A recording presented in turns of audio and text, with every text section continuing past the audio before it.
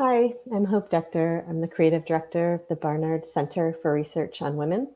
I'm happy to be welcoming you to the second workshop in the Building Capacity for Mutual Aid Groups series presented by Dean Spade and co-sponsored by BCRW, Fireweed Collective, and Survived and Punished New York. Tonight's workshop will focus on decision making. More information about all four workshops in the series is available on the event page linked below this video and in the chat, and we hope folks will join us for the additional sessions. We're also working with Dean to create additional resources from this series, including a series of short videos highlighting topics addressed in the workshops. The first of these short videos addressing burnout in mutual aid groups was released yesterday, Sophie will drop a link in the chat now, and we'll also be posting the videos on social media and the workshop event pages. I want to offer a few quick notes on accessibility and gratitude, starting with a land acknowledgement. Tonight's event is taking place online, but we are all physically located someplace, and we recognize that all land is Indigenous land. Barnard College is located on the traditional ancestral territories of the Lenape people. In terms of accessibility, you can find a link to access live transcription for this event directly under the video on the BCRW event page or in the YouTube video description. Thank you to Lydia Perez from Total Caption for providing the live transcription. Our ASL interpreters for tonight's event are Tricia Vasquez and MJ Jones. We're so happy to be working with you again, and we're grateful to you for providing this essential service. We are planning for tonight's workshop to take place for one and a half hours, ending around 8.30 Eastern Time. If you have a question for Dean, you can type it into the YouTube chat at any time, and we'll be collecting any questions there for the Q&A that will take place towards the end of the workshop. I also want to thank my coworkers at BCRW for making programs like tonight possible, including Elizabeth Castelli, Pam Phillips, Avi Cummings, Miriam Neptune, and especially Sophie Kreitzberg, who is coordinating so much of the work that goes into these events behind the scenes, including managing the social media and communications during the event. And to BCRW student research assistant, Eve Glazier, who is working with Sophie behind the scenes tonight. We're so excited to be partnering with Fireweed Collective and Survived and Punished New York to bring you these workshops. Huge thanks to both of these amazing organizations we encourage everyone to check out their work via the links in the event description. I'm happy once again to be introducing Dean Spade, who has been such an amazing longtime collaborative partner for me and has worked with BCRW to create videos and programming on mutual aid, prison abolition, queer liberation, disability justice, and transformative justice. Dean Spade is the author of Mutual Aid, Building Solidarity During This Crisis and the Next, as well as normal life, administrative violence, critical trans politics, and the limits of the law. Dean teaches at Seattle University School of Law and has been working in social movements and prisons, borders, poverty, and war for over two decades. I'll bring Dean on now and we can get started.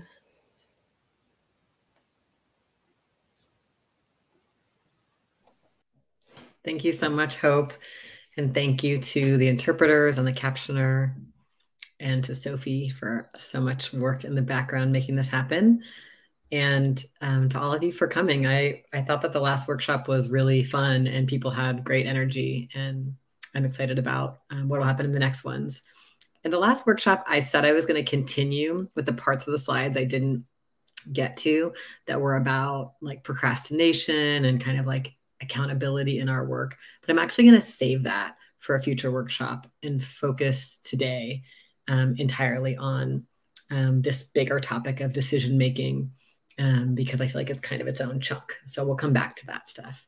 Um, and if you missed the last workshop, as Hope said, you can just watch the video on the BCRW website. All right, so I'm gonna share my slides. I think that they, are they up? Think they are. Okay. So a couple um, access uh, matters related to um, today's workshop. Um, it's totally fine to not participate in the interactive polls that I'll be putting up. Um, it's uh, I wanted to mention that the live transcription link is in the chat. It's also on Twitter, and it's also on YouTube underneath the video, and it's on the events webpage. Um, I'm going to read what's on my slides, so it's fine if you don't want to look at the screen, and I'll read some of what is coming up in the polls and in the chat, but there'll be a lot because there's a lot of people here um, but I'll read things that I want to emphasize. Um, I know a lot of people have a hard time looking at the screen for a long time, or maybe you've had to look at it a lot today already. So it's fine to just listen to this.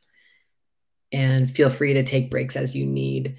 Um, this is being recorded, the video will be up, and so will a PDF of the slides and the poll results. So you can look at it all in more detail at another time. The things I want to try to do today, we'll see what we get through. Um, I want to talk briefly. I mentioned this at the beginning of the last workshop, but I think it's a framing that's important for anyone who's new to this workshop. Why I think we should make our groups or uh, organize horizontally.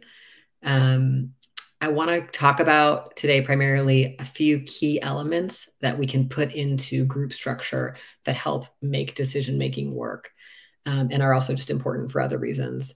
So, how to make your group have teams, how to have clear understanding of who's who's in the group and who's not, um, how to do planning so that we can implement things through teams, and um, various points around decision making and facilitation. That's like the main focus today. Um, all right, let's do a couple polls just to talk about who's here. So, um, Hope, can we bring down my slides? And Sophie, can we bring up the first poll? So we're using this thing Mentimeter, and um, we did this question last time, but let's just do it today to see who's here. What does your group, your mutual aid group, provide? So if you're part of a group already, like what does it provide? Or if you're starting a group, um, what does that group provide? Are you guys doing food, clothes? Are you doing eviction defense? Are you doing childcare? Um, so people can go ahead and use the link and um, that I uh, the code that's on this slide 16984092 at menti.com. Or I think there's also a link in the chat. And we can see what people are saying their groups are providing appearing on the screen. Food, clothes, prisoner support, medical supplies, homeless support, toiletries, groceries, water, cash, eviction defense, bike repair, community defense, food delivery, firearm training, household items. It starts to get teeny tiny soon, but it'll be it, it was fun to look at this in more detail last time after the session.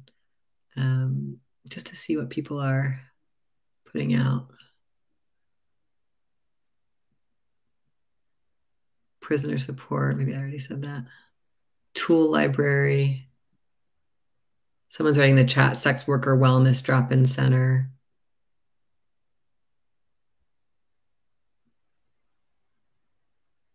Hygiene kits. Training. Great. So we're just getting a sense of what kinds of mutual aid groups are here.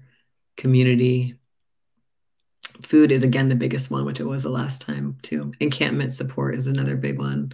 A lot of people supporting unhoused people, I think, in this room right now. Great. Thank you all. And as I mentioned, these poll results can be will be something you can look at um, after we'll put the PDF up of all of them. And I also posted them to social media last time. All right, let's go to the second poll when you're ready, Sophie. I'm curious um, how many people are active in your group right now. Let's see how these how big these groups are. Just to forewarn you, the next question is going to be how many are active decision makers in your group. So this is just like how many are active at all.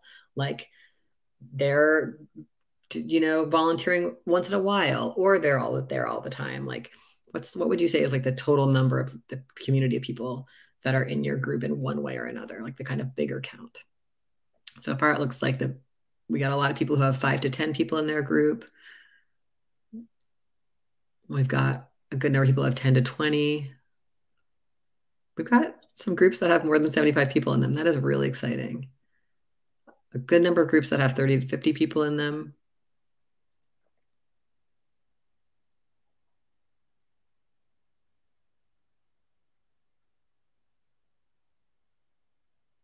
Great. It's cool to see. For some reason, there's very few groups that have 50 to 75 people in them.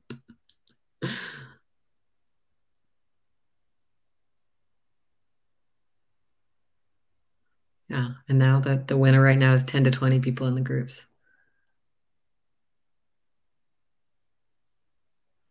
Great. Sophie, let's do the next poll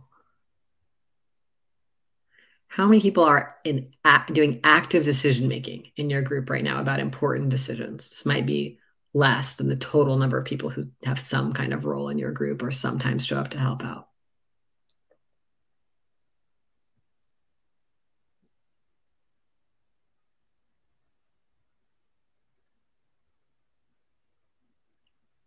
So yeah, it seems like not surprisingly, it's often less people than the total number of people who do something a lot of groups that are one to five or five to 10 people. It's helpful to think about this because when we're making decisions in groups of different sizes, it requires different kinds of facilitation. So it's nice to just kind of see what are people working with. But there are some groups here that have 30 to 50 people making important decisions together, which is really cool.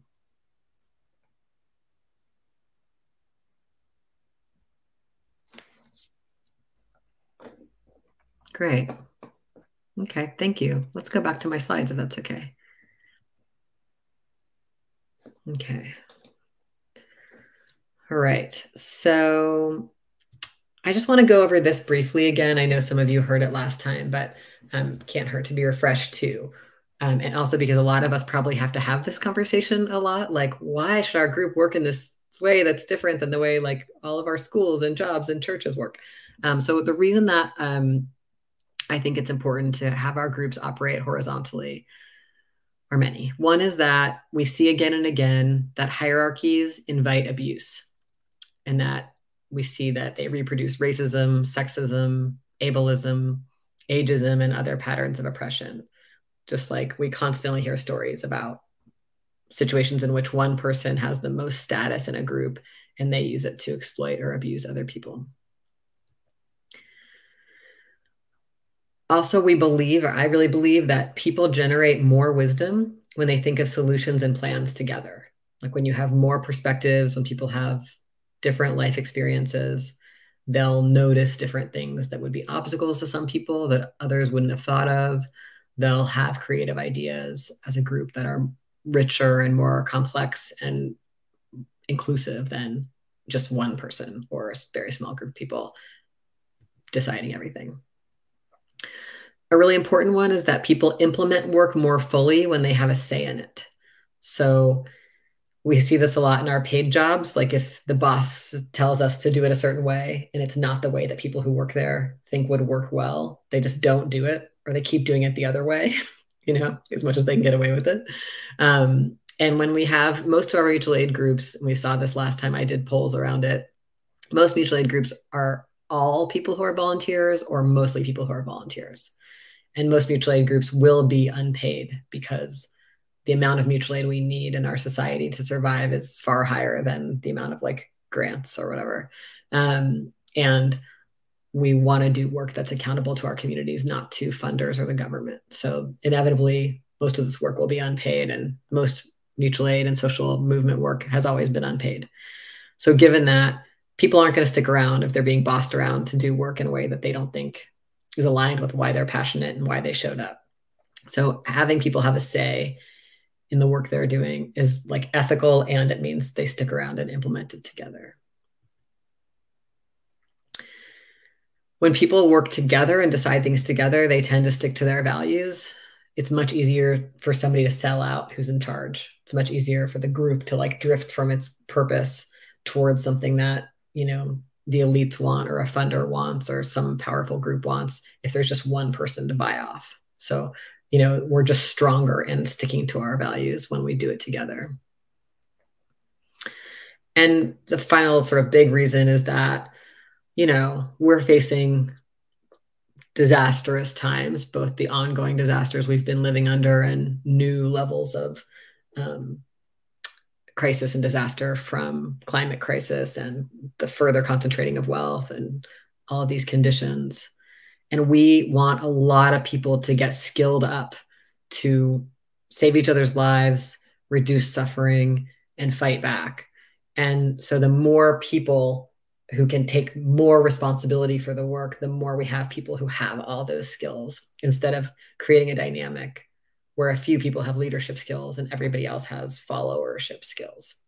We want people to be active and feel like they can take responsibility and start projects and move things um, because we there's just so much unmet need and uh, so much to do to build powerful resistance. So we want like more people taking up more room in movements, not just following instructions from somebody on top and kind of continuing the training and passivity that we all get in an authoritarian society.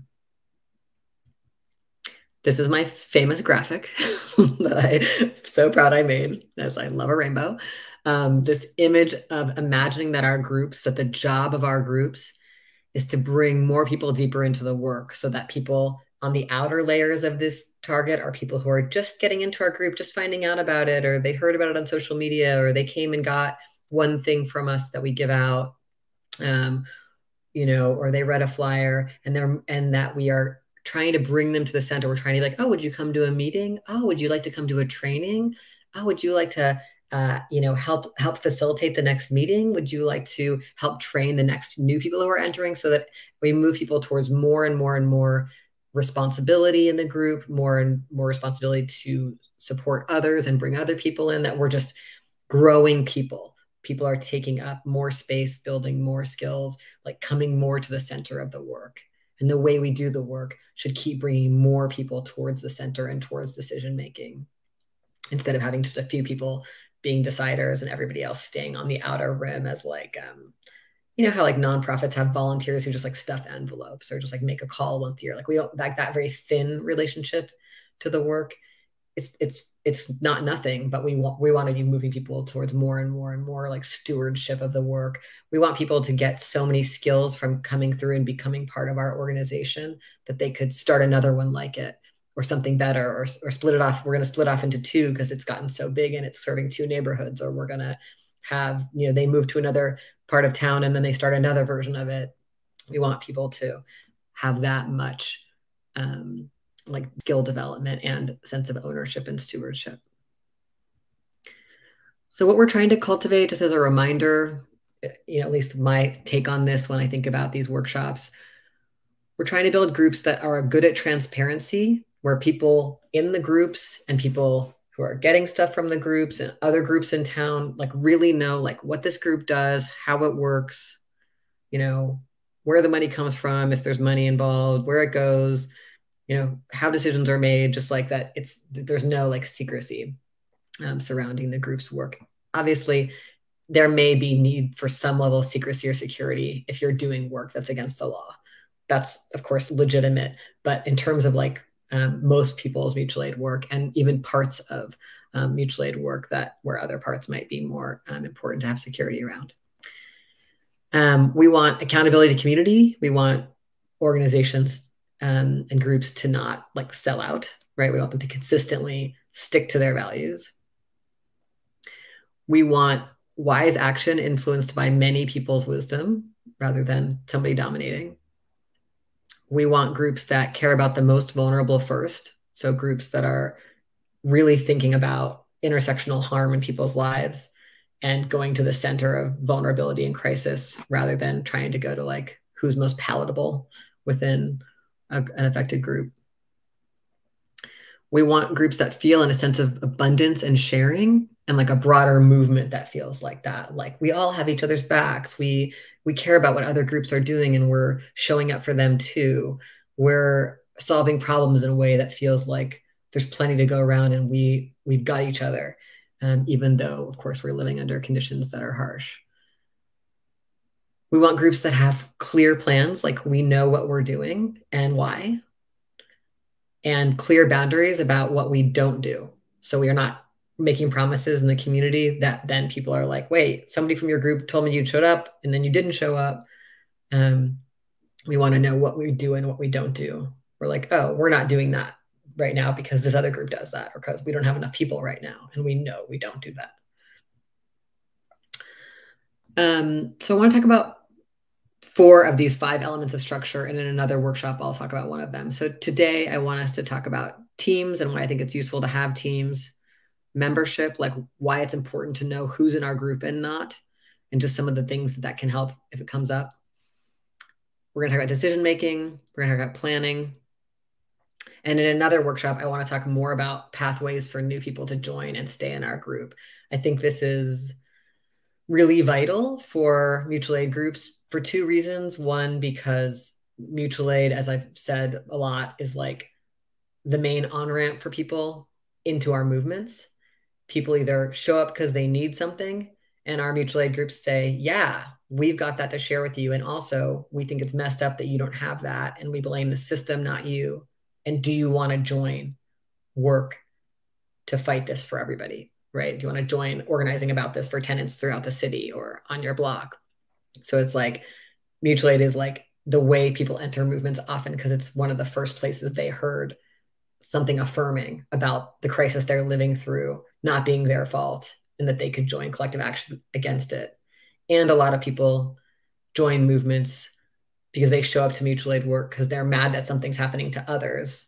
Maybe they've been through it before or they heard about it and they want to help, which is beautiful. And so it's this place people come into our movements and then often build a broader politics of solidarity, get involved in bolder and bolder action. And so it's vital that our groups actually be able to let new people in. And it's also important because there can be a tendency for, you know, two or four people to start a group and never really share decision making or responsibility and get really burned out. And so then we haven't, and maybe the work ends because of conflict. So we haven't really made the movement bigger. And we definitely can't win or survive unless our movements get a lot bigger. So our mutual aid groups are a vital space for building capacity to meet survival needs and build bigger mobilizations. So yeah, we're going to come back to the pathways for new people to join. I'll mention a few things about it today in some of these sections. Okay. Oh, it's interesting that, oh, there's, I see what's happening. Let's see. It's interesting. It's not running through. Well, okay. Um, it's not running through my animation exactly, but that's fine. Um, so teams. Um, I have found it helpful in groups to have teams. A lot of times when groups start, it's just like we all meet to talk about everything, which makes sense. But eventually, um, as our work starts to develop, it can be really helpful to be like, oh, like we don't all have to meet for everything. We can implement this work through teams. We can kind of know the general plan, and then there can be specific teams that implement the parts of it that they're good at. So typically this kind of emerges organically. Like maybe there's a communications team and that team runs our website and puts up our flyers in the neighborhood if we're using paper flyers or does our social media or um, if we're writing press releases does that you know like um, maybe we have a fundraising team because we are raising money to buy this food and toiletries we're giving out or whatever. And so there's a team working on that. Maybe there's a team that answers our hotline and coordinates training people to answer the hotline or um, a team that organizes the distribution of when we give out this stuff and bring it to the places we give it out or whatever. I mean whatever is the kind of organic um, tasks that tend to get kind of clumped. Um, and team structures are great to try out. And then sometimes you'll be like oh this team actually should be two teams or actually these two teams should be one team. You know it's fine for it to just constantly change and um, and shift according to experimentation. I encourage people to add a team that most groups forget to create which is some kind of team that cares about how our group works. In a lot of groups I've been in, we've called that the collective development team, or people call it the group culture team, or the care and feeding team. You know, you could come up with any creative name for it. But part of what this workshop series is about is moving from just thinking about what's what we do out there to being like, and how is it going in here? Oh, none of my animation is working. I wonder why that is. Okay. Um, so that team ha has kind of like maybe the following types of tasks. One is they might be really thinking about how to bring new people in. When we got when we talk about pathways for new people, we, will talk about like making sure you have orientations for them and training them on the stuff that the group does and how it does it and its history. Like how do people who come in know enough about the group to participate fully? So um, this team would think about that perhaps they would think about making sure we meet to do planning, making sure we meet to, to go over like, yeah, this is how much money we're trying to raise and how we're going to spend it. Um, they might be the team in charge of thinking about group culture, like we're going to have a disability justice training, or um, we're going to have a training where we talk about how to give and receive feedback, or we're going to have a training where we talk together about capacity and how we want to talk to each other about capacity in general, this team thinks about the internal infrastructure and tools. Like, how is it going in here? What do we want to skill up? Are there people missing? Are we creating an environment that's unfriendly and keeping some people out of our group? Is there conflict here that could be prevented or attended to? Like, that kind of like, what's going on in here? And I just name that because it's often the team that people forget to create. I'm just gonna like see if I do this, whether I could make it go a little bit, like actually use my, oh, maybe it's gonna actually use my, okay.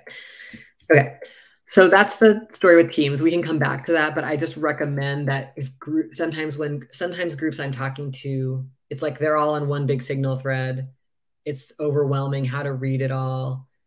All the decisions are happening everywhere. And it can be really useful if the group has a pretty clear plan, and I'll get to planning, to be like, oh, now these people, they just do the chunk of implementing that part of the plan. And they get to have their own signal thread or email list or whatever you're using. And you do need to find what, some way to make sure that the teams report back to the whole group, like at some reasonable interval, so that everyone knows what's going on. And so then maybe it's that once a month we have a meeting of everyone and we get little reports from the teams, or maybe the teams post little reports on Signal or on our website or something in some way, whatever tools we're using for communication. You don't want the teams to become so siloed that people don't know what's going on on the other team. And that can create conflict um, because people feel like it's a clique or they disagree with something another team's doing and they didn't get to give feedback. So we want to have enough transparency but also like people are allowed to go ahead and implement without everybody having to decide everything together. It's like a matter of like efficiency and transparency. The second piece I, I just want to name is membership, like how we know who is in and who is not in our group. Um, and the reason this matters is because we're going to talk about consensus decision making for the bulk of our time today. And in consensus decision making, people who are in the group can block decisions, can say, like, that doesn't work for me and we can't move forward because I'm really concerned about that. And so we want to know who's in the group so that random people can't come in and block our decisions. you know, like we don't want to have a group that's so tight that people can't enter and leave or that isn't flexible enough to recognize people's lives. You know, some people can't come every time. That's okay. But we want to have some way of knowing who's not in the group so that we're not open to just like someone showing up with bad intentions um, and and just trying to like stop our work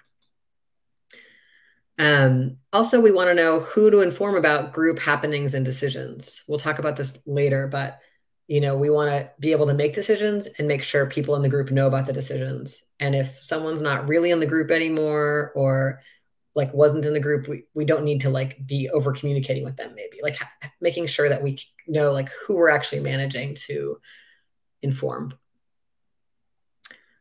We want to know how to tell if someone's left. You know, if I haven't been to any of the meetings in six months, I shouldn't be able to show up and block the decisions, you know, and bring the group to a screeching halt. So, how do we have some kind of clarity around like when someone can't do that and, and how they get back in if they're ready? Not about excluding people, but just about not making ourselves vulnerable to like the potential drama of that. Um, yeah. So, um, Sophie, if you'd be willing, will you put in the chat the link to um, to the sample example membership um, proposal that I created? So I this I just am giving you guys an example. We're going to talk a lot today about the idea that in consensus decision making, what we're doing is we're bringing proposals to our group. Um, we're saying like, could it work like this? Could it work like this? And then let's massage it and make it better. So this is an example of a proposal that I wrote for a group I was in. This was a group um, where we were like, okay, we want to have three levels. Like people can be core members who like make the big decisions about the group. We're going to have people who are, you know, on a team that, that anyone who's on a team is part of the core. And then also you could just be a volunteer to a team like the distribution team could just have like a bunch of people who just show up on certain days, but they don't want to be part of the group. They don't want to come to big decision making, but that's fine. Like we've got a broader field of people who like want to do work with the group and they do work with this particular team, but they're not like thinking with the rest of us about the budget or whatever. So this group, like that was its its model. You could there's a million different ways to make a model, but this is just an example. Um, and so this was just a, a, a, proposal I made about how people move from being a volunteer to a team to like becoming a team member and a core member. Um, and also it talks about how we know when somebody, like if somebody's missed five meetings in a row of the core, we're going to say they're not in it until they like say, Hey, I want to come back just so that we can know when someone's like not in it. So they can't show up and disrupt. Um, and there's some notes at the bottom about other things that could go in the proposal in the future. This is just one example of a proposal. There's a million versions of this. I just wanted to give an example. Um, I, as I mentioned in the note on this proposal, I drafted this for a group that actually did face a danger of like police infiltration. So we had kind of a little bit of a stricter, like actually vetting people you know, some groups might have a looser, like anyone can come to the core meeting. It's fine. Like, and we we, we aren't worried that people coming with the intent to disrupt or to, you know, um, throw in unnecessarily blo- unnecessary blocks. It just depends on how what kind of security issues the particular work you're doing has. We're trying to find that balance all the time between making a group too tight and secure so that new know, people new people can't enter and people inside are likely to burn out or making a group so wide open that people can come in with bad intentions and destroy the work. So it's like, I think that, I think in my experience, a lot of us have, um, a lot of us have a personality tendency. I am an over includer. I'm like, I think I want everyone to come. And I have friends who are like overly secure and they're just like suspicious of everybody. And it's great to have people in groups who have each of those tendencies and everything in between, because hopefully we can find a balance. Like neither of those things are a totally great plan, you know? And trying to learn if you have a tendency in one direction or another, so that rather than being like my ten- my what I believe is true, you're just like, oh no, I have a tendency. I'm going to listen to her. She has the other tendency. Probably the truth is somewhere in between here. Um, can be a kind of self awareness. That's helpful. Um, and we can talk, we can have more question and answer about this um, during the Q&A, but I just wanted to give a sense of like what, just that it's useful to have some idea about what constitutes membership and who, who can make what kinds of decisions or who can block what kinds of decisions. Most of the time in consensus, there shouldn't be a lot of blocking going on. And we'll talk about this more, but you know, people bring a proposal, we listen for concerns, we we alter the proposal to try to make it work for more people and we're moving towards like what could make this work you know or we're like oh wow we need to do more research we got to scrap this for now and then come back with a new idea but there shouldn't be a ton of blocking. So if there's not a block happening, it's fine for people who are newer to the group or who we're not sure how long they're staying to give their feedback. Like it's it, they're not gonna they they can't derail it. It's only if someone's coming in and is like blocking it and we're like, but wait, who are you? You've never done anything with this group before. you know, that's when it starts to be, or we haven't seen you in six months. And now you're coming here and telling us to stop this thing we've all been working on developing. You know, those are the moments where it starts to matter. Like maybe we don't have to let this person block. Okay, I want to talk a bit about planning. Sorry, this workshop is more like me laying things out than the last one, a little bit less interactive, but I want to just kind of put all this stuff in front of you and then we can talk about it. So it's really helpful when groups get to make big plans that are clear. Um, it lets teams implement them. So if we have a plan that we don't all have to come back and talk about it all every time, because we already made like the big decision, we're doing six events this year, or uh, we're going to be at the courthouse every Tuesday, or whatever. Um, and then we can make it all happen instead of always deciding it fresh. Um, it gives broad strokes that people can fill in in the teams it helps us know what we agreed to. So like we're like, yep, we all said six events. And then also we can be like, someone can come in and be like, you guys, I want to propose that we actually move to four events. And then we'll know, oh, we changed our mind. Like, like just a lot of groups like aren't sure if they made a decision sometimes. Um, so just being like, up, oh, we made a decision, we are aware of it. And it doesn't mean we can't revisit it, but we'll we'll know when we're revisiting it. Like so that everybody knows what's going on um, it really helps if we are trying to bring new people in that they can we can tell them what the plan is right? Like it's just like so much easier to become part of a group if you know what the plan is. Um, in a lot of groups there's a dynamic where people will take on new work for the group without asking everybody especially like founders and workaholics. And so if there's just like a plan that we do six events or we table every tuesday I can't go out and meet with someone in the community and tell them, oh yeah, the group will be there on Wednesday too, without asking everybody else. Like it's just let's it reminds us all that I'm part of a group and I can't just do whatever I want and promise things from us that we didn't all decide we had capacity to do. And when we make the big plan, it often is a moment where we're like, right, our priorities. Okay, we really want to center black neighborhoods in this or we really want to make sure this is done in a way that has that doesn't contribute to pollution or whatever. Like it lets us make a plan where we talk about why we're not doing it this or that way or why we're choosing this between these options. We're going to prioritize these people or this place. Um, and that um, means that we kind of came up with the big plan with our values in mind there's a lot of different ways to do planning that you know depend on what stage your group is in. Like whether we're just like we just met each other we're going to make a plan for the following month you know versus we're making a rough plan for the year. I'm just going to share like a framework i've used in some groups that feel like they are going to stick around for a while. So it can be really helpful for a group to have like a work plan especially like a team work plan. Like the comms team does these things. You know, it could be annual or it could be just a floating work plan, but it's like the comms team. We maintain the website. You know, once a month we make changes to the website. We post things on social media each time the group is doing a tabling event or a distribution. We, you know, whatever is in our work plan. We um, you know, flyer on Fridays and with throughout the, the are three encampments in our city, whatever our communications plan is, or we're the fundraising team. We do three GoFundMe's a year, or we signal boost these community members GoFundMe's, or we write these grants, like whatever it is. So having team work plans, it's like a way of having a clear plan. Um, and then people on other teams can read it and be like, oh, right, that's like, yes, that's what they're doing. Or actually, you guys, this seems, this is off from what we're doing. Can we adjust this? It's like a way to build that transparency. Like we all know what's going on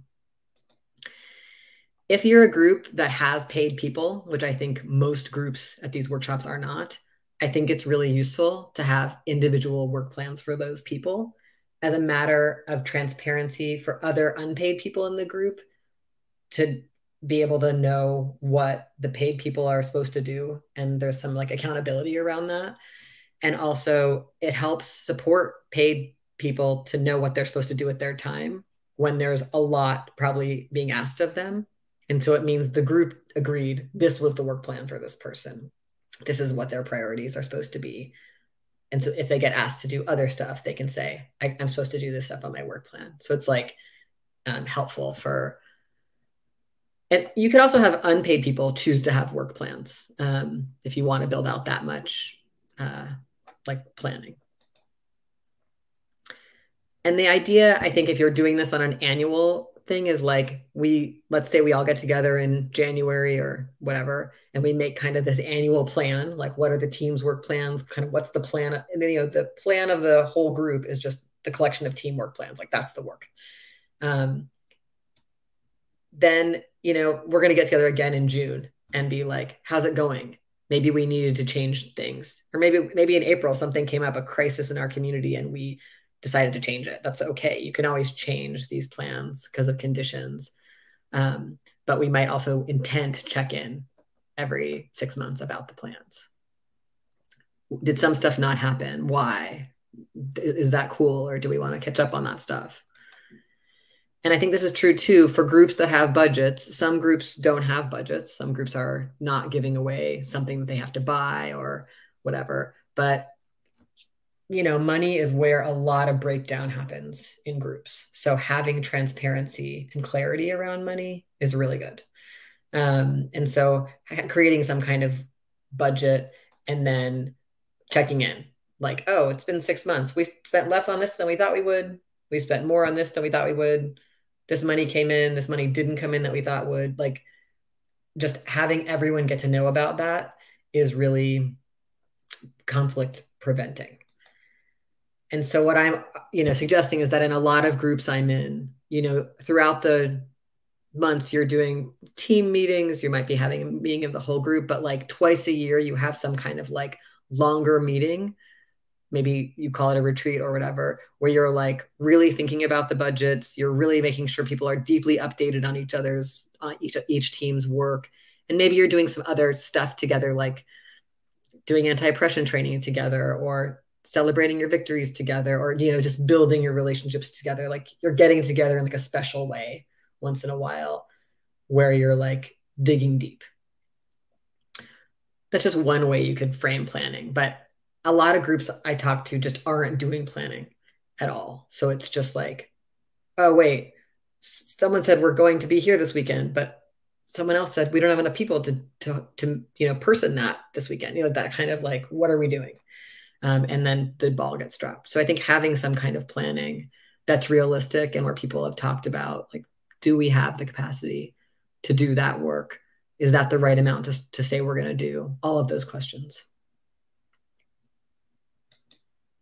Okay. So I want to talk about consensus decision making. Oh, I didn't do this one. Yeah. Um, Oh yeah, we did. Some, but some people already answered it. Let's let's do the fourth poll, Sophie. Um, what's difficult about decision making in your group?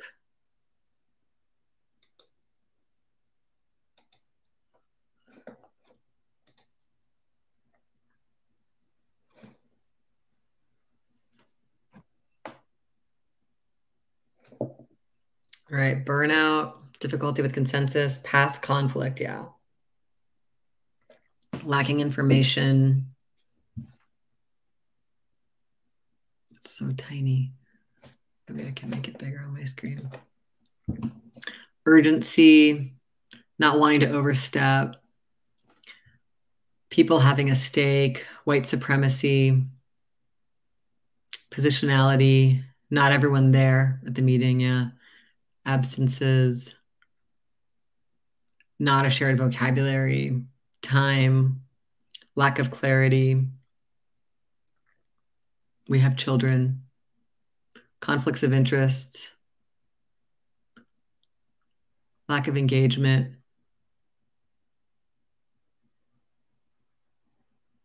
Absence is getting pretty big. Yeah. Capacity.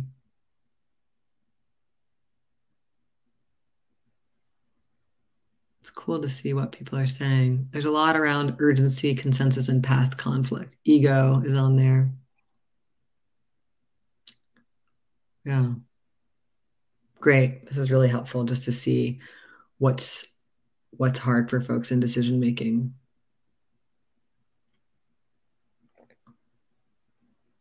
Abusing values.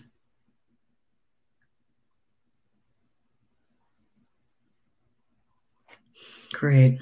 Let's go to this next um, one, Sophie. So let's talk about what are our fears about consensus decision making. I know a lot of people, when I talk about it in different workshops, are like, I'm worried that that's going to be bad for us in various ways, or I've had a bad experience and now I'm scared of it for our group. So I'd love to hear people's fears.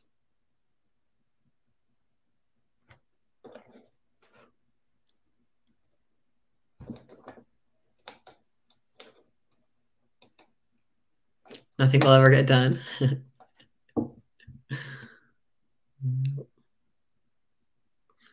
Gonna make the wrong decision. Hmm. Others wanting to stray from our values, having the group feel included, people judging how I process, too hard to reduce to reverse a consensus decision, inefficiency, too slow, slips into political ideology. What if we never reach consensus? That no one will feel full ownership of a decision to see it to the end. That's really interesting. Lack of productivity, lack of movement. The least effective thing will pass. It takes a long time. Privileged voices are given equal time as oppressed voices. People will be left out. Too much back and forth, so we never make an actual decision. Personal conflict will get in the way of what is best for the group. Differing values, time management, decisions that don't match values, too easy to block or veto work. Yeah, no follow up. Yeah, these are really helpful. Taking so long that it prevents any action, especially when needs arise so quickly in our communities. Yeah, we're going to talk about that. Unchecked biases and power we won't know how to define quorum, quorum or consensus. Yeah, like we're enough people here to make this decision. Someone feels left out or agreed to just agree to not create an issue. Uh-huh. I worry that others might be afraid to tell me I'm misinformed. Keeping everyone on the same page and getting people to keep the big picture in mind. Conflicts. Yeah, people with less capacity making decisions than leaving it to others to do the work. Yeah, that's hard People will disrupt decisions for the fun of it. Great. Yeah, these there's tons, tons, tons, tons of great concerns. Yeah. Um, blocking is a way to, for folks to feel validated. Yeah. Factions form and block any kind of decision making. Oh, yeah. Yeah. Great. These are great. Thank you all. Um, yeah. That it's performative and not really consensus. Yeah. People see concerns about a proposal and as ganging up on the person making the proposal. Yeah. Great. Yeah. Thank you. All right, let's go back to the slides. I think that um a lot of these things, of course, can happen in any kind of decision making. Um, so that some of them are things that are about which kind we used, and some of them are about the power dynamics that are real in our groups. Let's talk about a few a few things. So I think some of the reasons that I think consensus decision making is the path we should be trying is that we make better decisions because we actually have heard people's concerns and tried to address them. If the alternative is to either have like somebody be like the director and make the decisions or majorities vote, then we are just agreeing to like not address lots of people's concerns or leave out people who are in the minority. And that could mean we're leaving out people who have experiences that really matter to our community, but are just not the bulk of the people in our group. Um, I think I think it produces better implementation because we all were part of making the decision, so we're willing and interested in implementing it. We we were heard, even if we didn't get our number one, we got to talk about and hear why, like it's worth it to move forward with something that's like maybe good enough for us, like most people can mostly agree to. And I think that the the skills produced by doing consensus decision making together really matter. I think they help us learn how to be cooperative, how to be collaborative, and to create a group atmosphere that fosters cohesion and connection. Um, ultimately, when we're practicing consensus decision making, we can learn the skill of being like, rather than being right or winning a vote, I want to hear what other people think about my proposal that's different so that I can make it better, so we can make it better.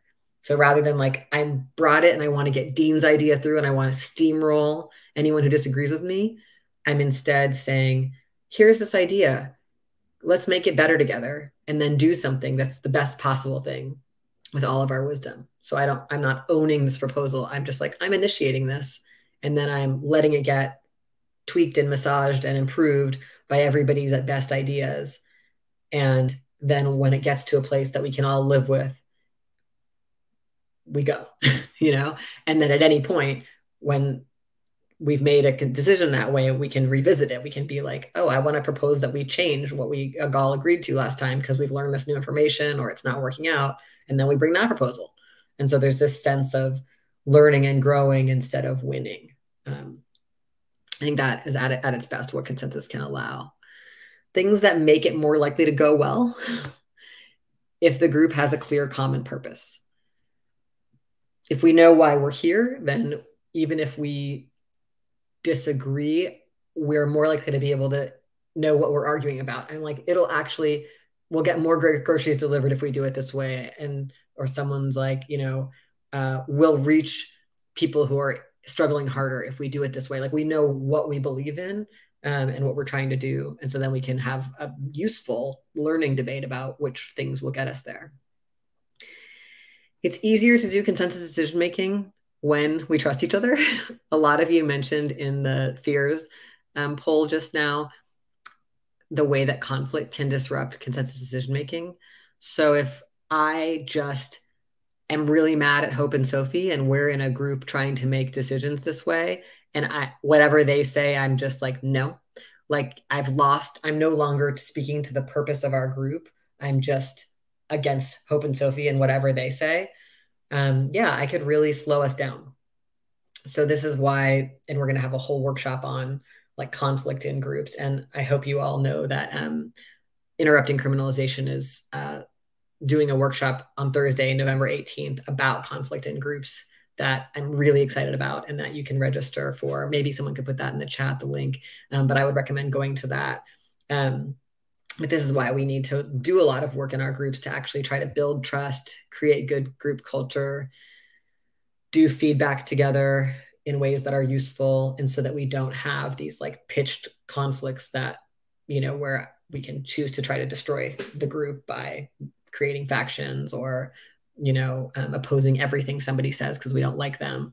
Um, yeah that that makes decision making fall apart kind of no matter what decision making structure you have.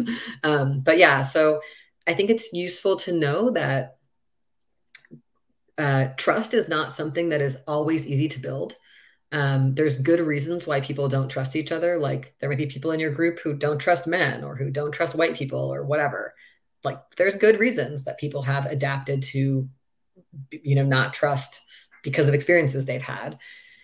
So I think the question is less is is often how do I become trustworthy? How do I act in ways in a group that show that I'm listening, that I'm um, doing what I said I would do, that I um, admit mistakes. Like, how can we all be trying to become trustworthy? And how do I experiment with ways I might try to be more trusting when it's appropriate? Like, oh, I noticed that I'm, you know, feel really untrusting of everyone in this group. Is there any room for me to play with that? Is there anything that might be influencing me that's deeply about past experiences that am I able to let in new data too about whether people are being trustworthy? And it's not about pressuring us to trust each other. It's about having some self awareness around our own trusting or lack of trustingness and around our own trustworthiness. Like we are all on a path to hopefully like do healing that allows us to be more trustworthy and do healing that allows us to trust people when they're trustworthy you know um, and so i think just like even noticing if you have a tendency there, if you have a tendency to be very trusting, kind of to a fault, or to be untrusting in a way that blocks potential connection and collaboration that could be useful to you or the group. And just like not being, not judging ourselves for that, but being like, hmm, is this a space where I could see any transformation of that? Could I try trusting people who are acting trustworthy? Could I tell a group what makes me feel more trust in a space? Could we have a workshop about building trust? I don't know. You know, there's like, this is really complex, complex, but it will be easier and easier to make decisions together when we've seen each other follow through, listen to each other, actually care about other people's experiences. Like that's what builds our trust, right? When we felt, when we've created a culture that makes people feel belonging in the group. Um, so yeah, this is a tall order. I think, you know, I strongly believe that most of the harm we experience in our lives happens in groups like families and schools and churches and workplaces.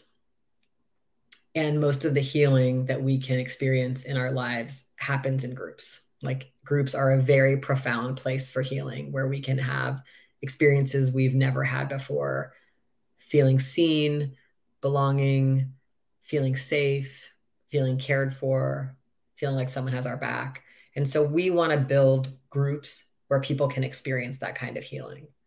So how do I how do I show up to a group that could be a place like that for me and others? Like these are like deep questions that relate to this. Consensus decision making works better when people understand the process. And most people have never been in spaces that were not dominated by an authority. So we do need to make sure, especially with new people in our group, that we keep talking about how the consensus process works. And good facilitators will remind people how we're making this decision and what some of our values are about that every time we are making a decision together so that new people can join and so that all of us can remember. If I came in here with a big grudge against Hope and Sophie, maybe reminding me what the purpose of the group is and how we make decisions together might help me not play that out when we go into this discussion of Hope and Sophie's proposal. Um, it might help me keep the best interests of the group at the center, which is what allows consensus decision making to work well. And it can be really hard when instead I'm focused on my grudge. This is huge. I'm going to talk about this in a moment in the facilitation section, but in many groups, um, people just show up to meetings. No one's done any work in between to prepare or think about what the meeting will be like or to give people something to think like here i'm i'm sending out this proposal for people to chew on before the meeting. And maybe even send me back thoughts if you if you have suggestions before the meeting. And then when we have the conversation we've all already chewed on it a bit. Like doing things between meetings to prepare for meetings makes the time be used much better and can make people feel a lot more satisfaction in the consensus process. And so we really need skillful facilitation and agenda, prepara- agenda preparation. And I'm going to talk about facilitation a bit here and also give you guys a bunch of resources. Facilitation is a really huge skill that we need like everyone to be learning, and it's a lifelong skill. And there's lots of great writing and vid- videos and stuff about it. Um, but we really need everyone in our groups to be learning this. Um, and facilitation is so vital during crises and disasters when it's time for groups of people to make hard decisions together and to share resources in the face of scarcity and danger. So the more we have this skill, the more prepared we are for the coming disasters. So this is a, an image which you know you can look at it if you want to. You don't need to. I'm going to talk us through it. There's a lot of different flow charts like this on the internet that talk about what this sort of flow of consensus decision making is. This may be very familiar to some people, but I want to briefly go through it for people for whom it's new. The basic idea of consensus is that we're having some kind of conversation. There's some kind of proposal emerging, like, I think we should be at the courthouse on Tuesdays. And then people talk about concerns like, I don't know, Tuesdays is you know, actually the day the court's only open till three, or um, Tuesdays is a day where a lot of people in our group can't go because there's a meeting of the other coalition on Tuesdays or whatever. And then we adjust it. Someone's like, how about Wednesday night? How about Wednesday at noon? And then other people are like, okay. So we've got a modified proposal now. It's going to be Wednesdays. And then we assess the degree of support. Most people feeling pretty good about that? Is are there any other concerns that we haven't dealt with? And if people are feeling pretty good and there's no more, no one's identifying any, any more concerns, then we say, oh, have we reached consensus? Does anyone have any opposition? And we may have reached consensus. Or if not, maybe there's more concerns and we go back and talk about more concerns and modify more. That's the basic. I mean, we do this all the time in our friendships. I think I used this example in the last workshop. I'm like, Hope, do you want to get dinner on Friday? Hope's like, No, I can do Saturday. I'm like, Okay, I can do Saturday too. I'm like, Do you want to go to the place on the corner? Hope's like, No, people don't wear masks there. It makes me uncomfortable. I'm like, Okay, what about the place near my house that we like? Hope's like, Okay, we've just modified the proposal. Now we're going Saturday to the place near my house. We both agree. Like, that's, we just did the consensus process. Right in in groups like mutual aid groups there might be multiple meetings here it might have been that in you know in the meeting in the first week of november we started discussing adding a new date for distribution and then we said okay you know sophie and dean are going to go go on and uh, make um, a generate a proposal about that they're going to do a little bit of research try to figure out if it, if it should be on mondays or if it should be at the beginning of the month or whatever they're going to come back with a proposal and so then the next meeting, we talk about Sophie needs proposal, and we realize, oh, there's some unsatisfied concerns that actually need more more research and a new proposal. So then we deal with that. And so it could be three meetings before we get to the decision making moment, or it could all happen in one meeting, depending on like how big this thing is and is the research needed, and you know, did we while we were discussing it, did we realize, oh wait, we need some people to go off and do some more work on this. So this might have this process might happen over a period of meetings rather than just in quickly. But that's the basic idea of consensus decision making. And it's, I think, as I mentioned in the last workshop, most of us have done this more in our friendships than anywhere else. Um, because anywhere else, like in blood families and in jobs and in churches, someone's bossing us around.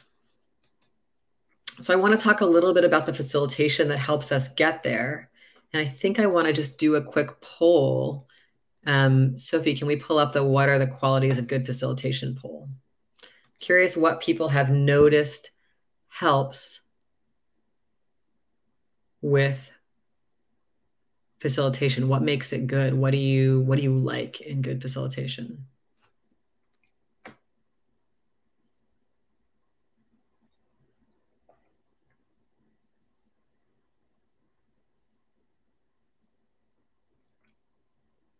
adaptable, good listener, experience, neutrality, confidence, time management, clarity, flexible, minds people's speaking. Uh, uh, sorry, I think minding people's speaking. People were really loving experience, active listening, joyful. Try to make this bigger so I can see these little words no editorializing, taking stack. We'll talk about stack. Silence. It sounds like people like a good pause. Inclusion, humor, friendly, shared plan, empathy and compassion, clarity, openness, patience, shares power, visual, assumes best intentions,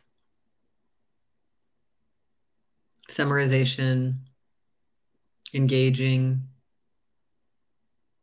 inclusive. This is great. Honesty, calmness.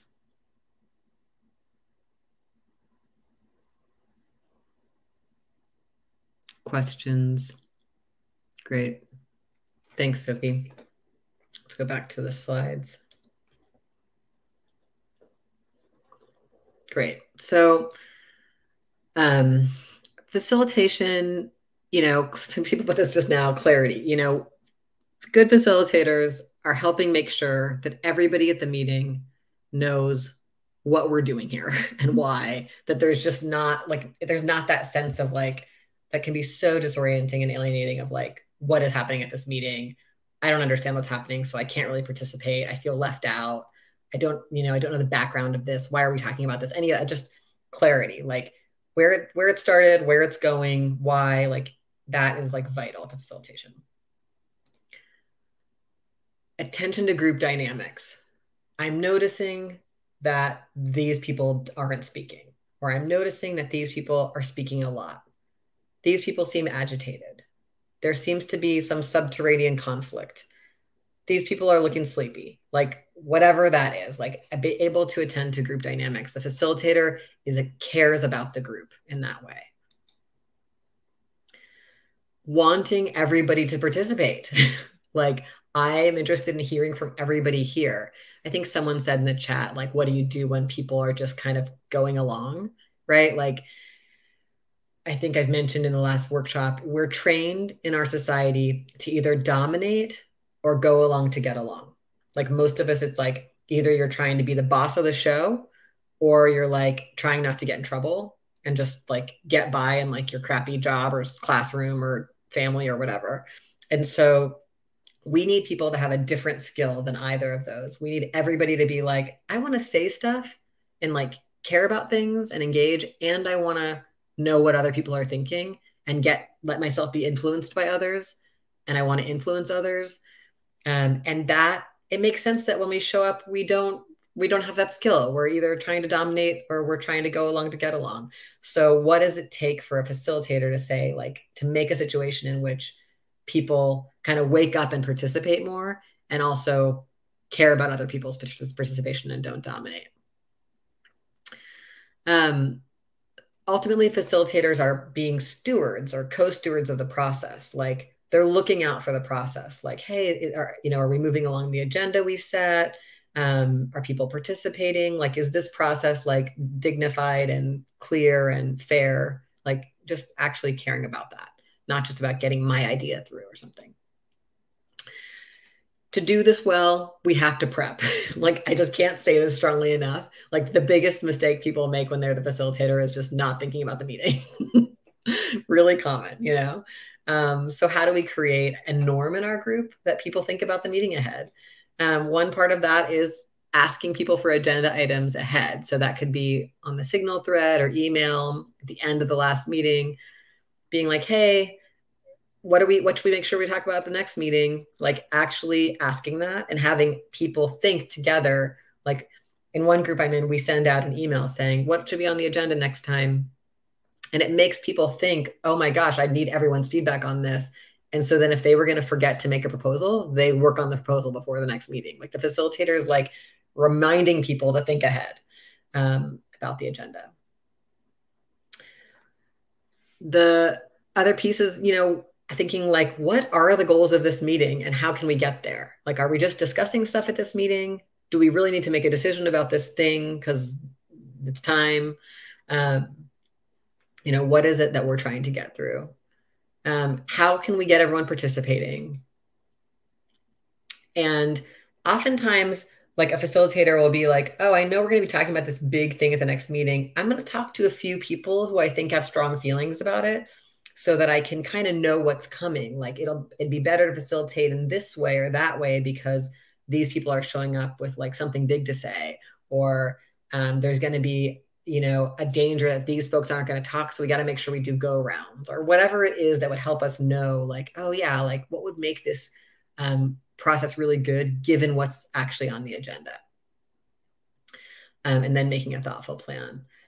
It's really great to have a clear agenda. This is an example that says like the timing of particular topics, what the topic is, and who the facilitator is, and to go through it at the beginning of the meeting because it might be like, oh, y'all, we forgot. We need to talk about this too. Can we find time for that? Like just making sure people have get to consent to what is happening at this meeting and that people that we actually start and end on time you know having a, having a facilitator be the timekeeper or having someone be the timekeeper we're like oh it's 1030 it's time to end the report back from the coalition meeting. And if, if it's really essential that it keep going, we have to all consent. Are we all willing to add five minutes to this and take it off the next discussion? Yes. Okay, then we can go forward. But making sure that people aren't like, oh my God, I've been hijacked. I'm supposed to stay here for three extra hours. I can't do that. The babysitter, you know, whatever.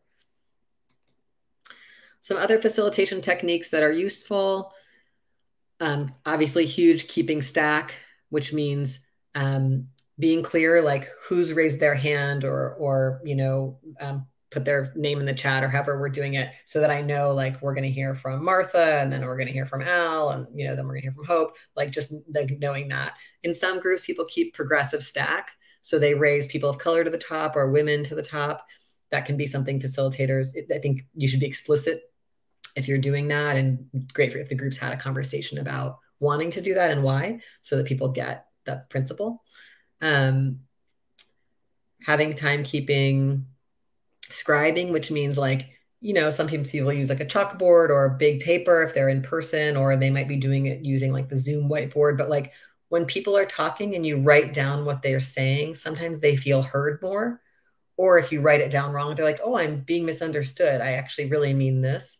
It can be a useful tool. And then you have these kind of public notes. It can also help people follow along who are different kinds of learners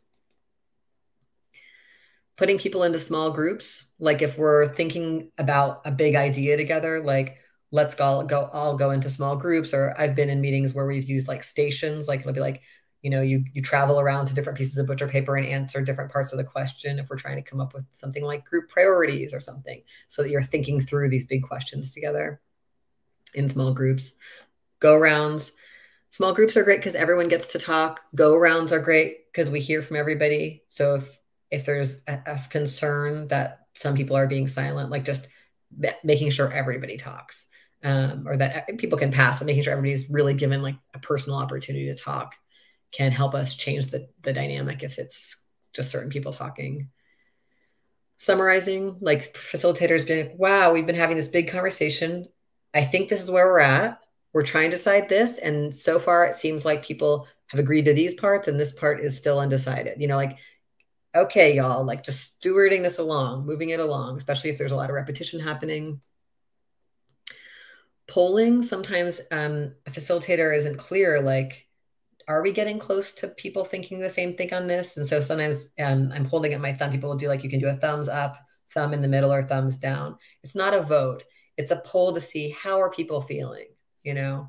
Are people feeling like um, they're starting to feel like this proposal makes sense? And if you got a lot of thumbs up, um, or if you get some in the middle and some up, you could ask the people who have their thumb in the middle, what's what's what's still on your mind, you know? Or if someone's thumb is down, you say, oh, will you bring? What's your concern at this point? Why is this not sounding right to you? So that we can really start to get to the heart of the matter of, you know, are we can we modify it further? Um, putting stuff in the garden. People bring up topics that are important to the group, but now is not the time to talk about them. Keeping a list of that for future meetings. And just knowing when it's like oh you know what? It turns out this needs more research or this proposal needs to go back to the drawing board for a new approach. Like we just aren't able to resolve the concerns without some more work. Okay you know hope and sophie brought this to this meeting um, do we have any volunteers to, to come back to take it and kind of work on the next part and come back with it maybe the folks who brought the concerns have an have some good ideas so maybe they want to take it or somebody else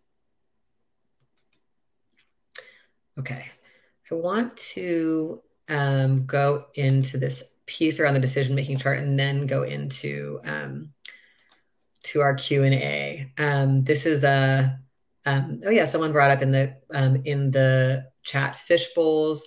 Um, that can be really useful, like having um, you know people who work on this the hardest have a conversation together and everyone else listen and then everyone join or people who have particular identity in the group that is particularly implicated this decision they just have a conversation and everyone else listens and then we go back to the whole group. Like you know there's lots of ways to work this. Oh and if sophie if you'll put in the chat right now there's a bunch of facilitation resources i want to offer you all um, the book on conflict or consensus which has a pdf online was the first book i ever read on this stuff. It's full of like detailed suggestions. Also adrienne maree brown has a new book out on facilitation and mediation which sophie's putting the link in. Um, there's Peter Gelderloos's book on con, um, on consensus decision making. I mean, there's tons of stuff, but these are just some some things I want to suggest because I am doing a very cursory um, discussion of facilitation just because of time. Okay, I'm going to try to just get us through the decision making chart piece, and then we'll go into Q and A. This is my book, this idea about decision making chart, if you want to read it in more detail. But um, decision making charts are really helpful for groups. It's a chart that helps us know how a decision is initiated. Like, how can, if I think something should happen in this group, how should I initiate it? Who needs to be consulted? Who can finalize the decision? And who needs to be informed?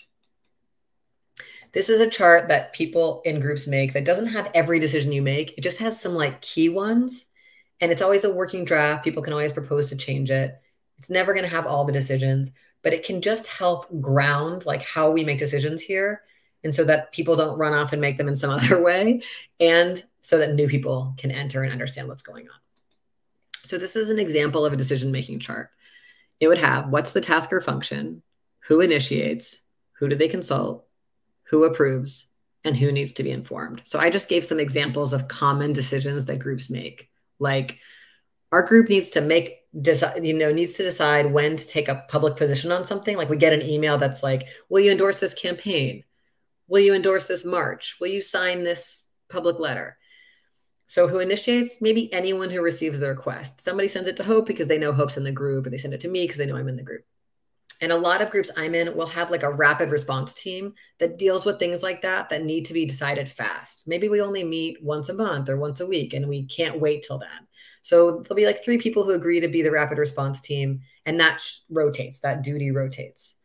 And that team is allowed to just make the decision if it's clear. Like, of course, we sign on to anything that opposes criminalizing laws, or we sign on to, you know, anything that's for the solidarity budget or anything to defund the police. And so if it's easy and obvious, they just say yes. And, and, and you know, when I receive the email, I know, oh, send it to who's on rapid response now. And if it's not easy and obvious, then they do something like raise it on the list serve or bring it to the next meeting. But that way we can at least take care of the ones that are easy and obvious quickly and have rapid response. Um, and then they need to let everybody know we agreed to this. They put it out, however we tell everybody things, whether it's our list serve or a signal thread or whatever, so that if I'm in the group, I know, hey, the group I'm in decided this. I don't want to be like, I didn't realize we signed on to that. Now people are asking me about it when they see me at meetings and no one told me. That's like a bad feeling. Another example would be let's say our group does distributions and and the, you know the decision is whether or not to take on like a new place where we distribute stuff maybe anybody in our group could bring that proposal like hey I, I would like us to do this also at the soup kitchen on thursdays they would bring that i'm just guessing in our group to the distro team and the supplies team because those are the two teams that are implementing like the main stuff around our distribution. And maybe because it's a pretty big deal to take on a whole new distribution day that team like works up a proposal in more detail. They add stuff that they know as the supplies team like where are we going to get the extra food or whatever or the transportation.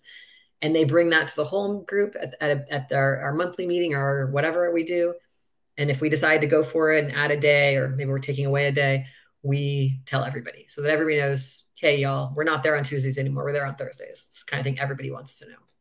A couple other examples, maybe uh, decisions to apply for funding. Maybe the fundraising team gets to initiate that, or people could tell the fundraising team if they hear about an opportunity. And maybe we have kind of like a sheet, like a lot of groups will have like a sheet, like how do we, when do we say yes or no to funding? Maybe we have a sheet that says we don't take funding from the government or from corporations. We do take funding from blah, blah, blah, like whatever our criteria is, you know. Um, and the fundraising team can finalize it. They use our criteria sheet and they finalize it. And then they let people know maybe at our meeting when they do their little team report. Maybe another one would be should we join a coalition or not? Maybe anybody in our group could propose it.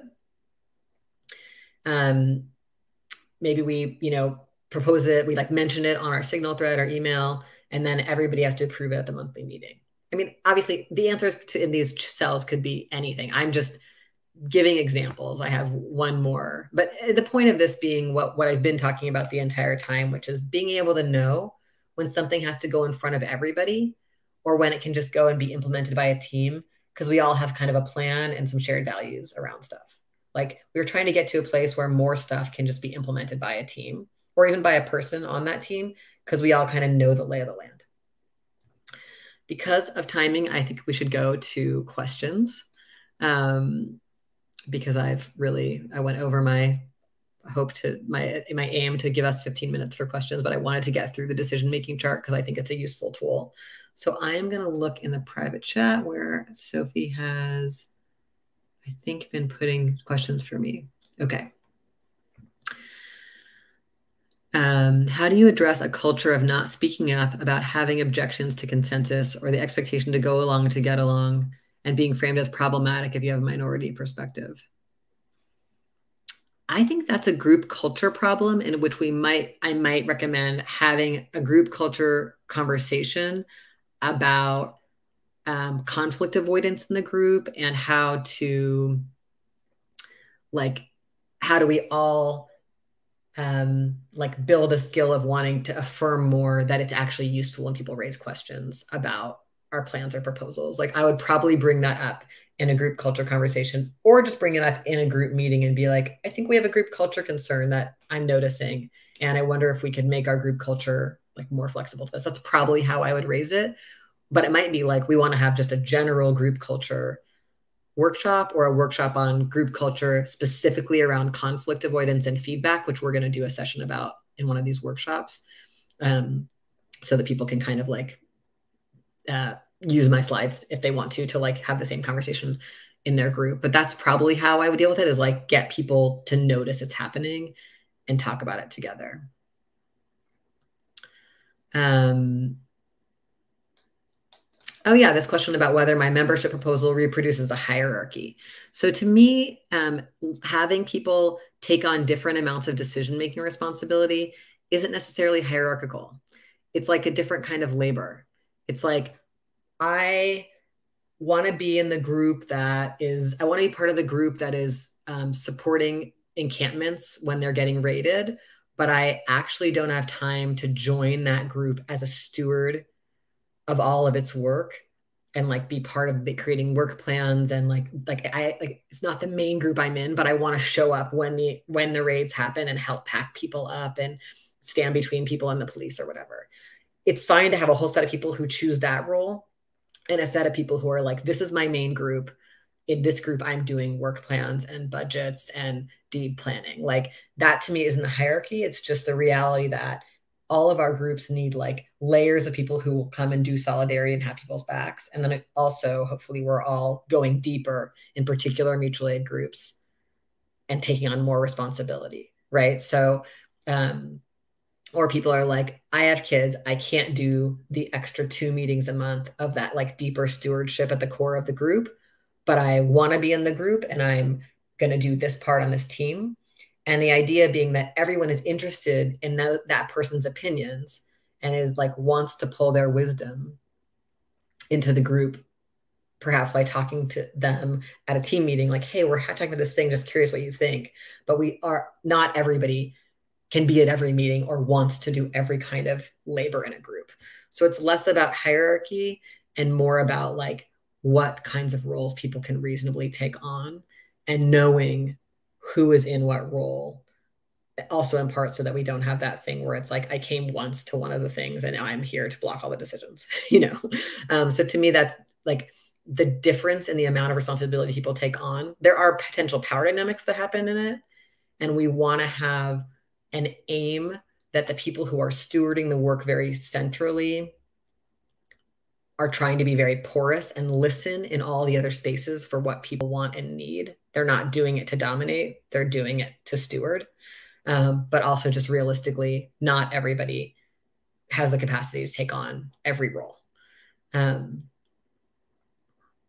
how do you make a collective development team not become the main ones making decisions? Great.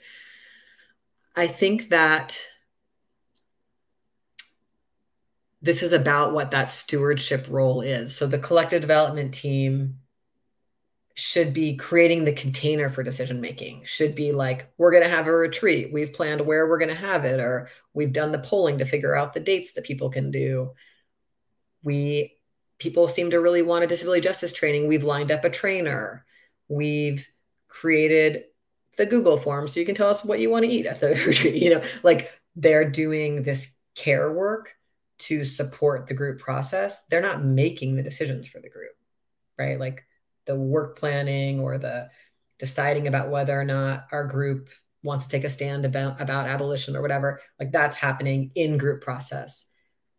So I think that if a, if a, if any team is dominating and people are not giving them feedback, um, it's like we need to name that. That's a moment to discuss group culture. Like, oh, I'm realizing I think I'm supposed to do whatever that team says or whatever that person says. Like talking about that, like talking about how decision making is going. Um, so I think having that kind of team is ideally about putting more effort towards what's going on inside. Um, a couple other things. Oh yeah, please do, um, Sophie, share the example of a decision-making proposal. I think I didn't mention that one. So yeah, Sophie will put that in the chat. This is just an example of a proposal I wrote for a different group I was in that just kind of named like, yeah, we already mostly use casual consensus where we just kind of like talk about a thing and everybody adds their thoughts and then we're when it sounds pretty good we're all like okay let's go so we just acknowledged that that was how we were naturally making decisions we acknowledge that we want to bring proposals to the group and that we ask for concerns like that we acknowledge kind of what consensus is and that we would only use formal consensus when things are really conflictual um, and then we talked about the difference between things that were decided on teams. So we didn't have a decision making chart. We just did this in this proposal like, hey, these are the kind of things that we all want to make sure we decide together. And here's some things that teams are empowered to just do in their team. Like the research team gets to decide how to do the research that other teams have asked for. Or, you know, the communications team can finalize graphics and language for posts and stuff. They don't have to bring all of that back to everybody um, and then we also noted that using fish bowls or caucuses could help us if we're noticing a power dynamic, like white people are lining up around this or women are lining up around this. Um, and also in that group, we really wanted to make sure to talk about ways to better include people from prisons to call into our meetings or to write write in or to give them the agenda ahead of time. That was another priority around decision making. Um, so yeah, I just I'm just sharing these kinds of documents in case any of it is cut and pastable in your life. Um, someone also raised this question: What about oppressive standards for what trustworthy looks like? I'm very curious about all the things that might mean to you. One of the things that means to me is sometimes people are blamed for not being trusting trusting enough when of course they have good reasons for not being trusting enough or not being trusting. So I, I, I see that happening. I think this question about what we think integrity is in our movements, and I think we'll talk about this more when we do the feedback session in these workshops and the kind of discussion about abolition in our groups. Like, how do we become people who do what we say we're going to do, who acknowledge when we make mistakes, and who tell people when we can't do what we said we're going to do. you know, like that to me is a lot about being trustworthy. How do we, this is so much about emotional work in our lives. Like, how do I learn more about my impact on others and access more values alignment? Like, it makes sense that a lot of us have a hard time. Like, I believe in honesty, but I keep finding myself lying, or I, believe in listening carefully, but I'm always distracted by what I'm thinking about how to respond. And there's stuff in there from my gender or race training or whatever, you know, like, you know, this is like long term work, healing work to become trustworthy and to become trusting when it's worthwhile, uh, when it's grounded. Um, I think that if our groups talk about the values and skills of things like giving and receiving feedback, what happens when we procrastinate, how to feel on purpose, how to welcome new people, how to care about group dynamics. Like all of that stuff is about making it possible for people to become more trusting appropriately when it is and to be more trustworthy. Like, so it's really, it's like a lot. Um, so I think in some ways, all of the pieces of these workshops are about this like if we have transparency in decision making, the group is more trustworthy. If we have good facilitation, I'm more likely to feel trusting and relaxed when I enter. I'm like, oh, this meeting will start and end when it was said. There will be a break when it was said. People are trying to make sure I participate. People are going to address it when someone says something harmful. Like all of those things make it possible that I might feel more trusting or that I might act more trustworthy. Like I might show up differently than I would in a space that didn't have those things in place. So it's complicated. I think that all these pieces relate. I realize it's 5:30 is the end of the workshop. We will post this video and these slides and um, and have another workshop coming up. I can't remember what date, but it's on the website. Maybe Hope knows.